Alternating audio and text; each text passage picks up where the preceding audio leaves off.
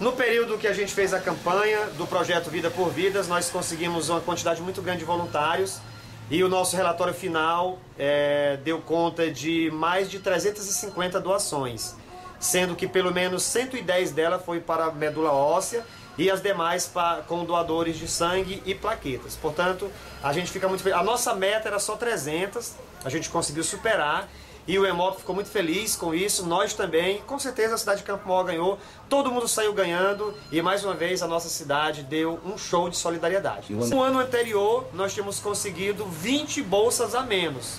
Ou seja, a, gente, a cada ano a gente está se superando. Né? Foram 310 no primeiro ano, no segundo ano 330, 340 e agora esse ano a gente quer fechar nas 400 bolsas. Vai depender de cada um de nós.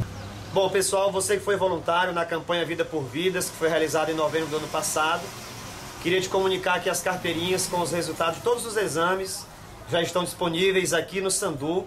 É só chegar na recepção, se identificar, leve um documento de identificação, pegue sua carteira e de já a gente agradece o seu apoio, sua compreensão. Ficamos muito felizes com os resultados e a gente espera que esse ano a gente possa fazer uma nova campanha, tá bom? Pegue sua carteira, que ela já está disponível lá no Sandu. Obrigado!